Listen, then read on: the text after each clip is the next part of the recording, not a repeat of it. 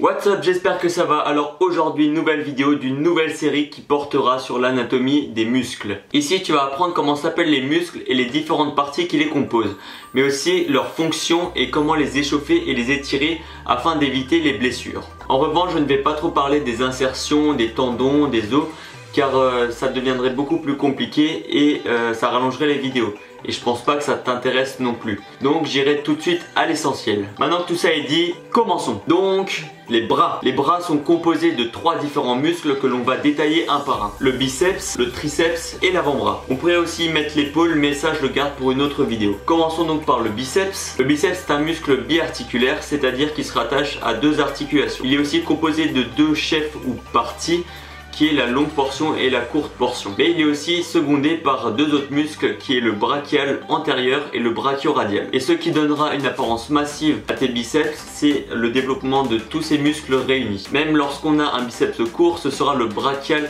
et le brachioradial qui essayeront de combler ce vide. Enfin bref, le travail de ces muscles dépend aussi de la position de la main. Lorsqu'on travaille en position neutre, donc les mains comme ça, c'est dans cette position que le bras sera le plus fort, euh, notamment grâce au brachial et au brachioradial. Lorsqu'on les place en supination, donc les paumes vers le haut, c'est là euh, que le biceps va le mieux travailler et va être le mieux recruté. Et enfin en pronation, donc paume vers le bas, c'est là que le bras sera le plus faible, mais dans cette position c'est le brachioradial qui va le plus travailler alors que le biceps ne pourra pas trop intervenir. Ensuite parlons du triceps. Il est antagoniste au biceps, il permet donc l'extension du coude. Il possède trois chefs, le chef long, médial et latéral. Le triceps est plus gros que le biceps, c'est le chef latéral qui sera le plus visible. Et parmi ces trois chefs, seul le chef long est biarticulaire. Il contribue donc à ramener le bras vers le corps en synergie avec le dos. Et enfin parlons de l'avant-bras. Celui-ci est utilisé dans tous les mouvements de musculation où tu utilises tes bras, donc le développé couché, le rowing,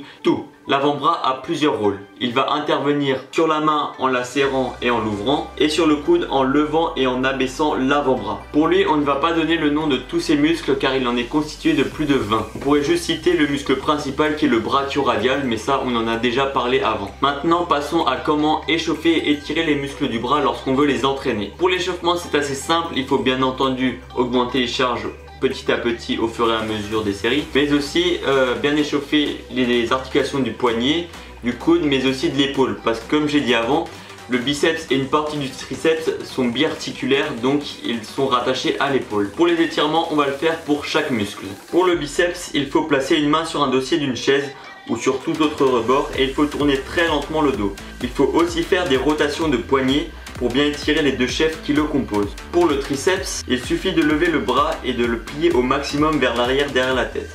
L'idéal étant que ta main touche l'épaule du même côté. Avec ton autre main, tu peux aussi t'aider pour encore plus s'étirer, mais toujours doucement. Et enfin, pour l'avant-bras, il faut coller ses mains l'une contre l'autre, en les pointant vers le haut pour étirer les fléchisseurs et vers le bas pour les extenseurs. Et voilà, la vidéo touche à sa fin. J'espère qu'elle t'a plu, qu'elle a permis de t'apprendre certaines choses. La prochaine vidéo d'anatomie sera sur les pectoraux. Pour ne pas la louper, tu peux t'abonner, mais aussi mettre un like et un commentaire si t'as envie. Puis euh, jusqu'à la prochaine fois, porte-toi bien. Ciao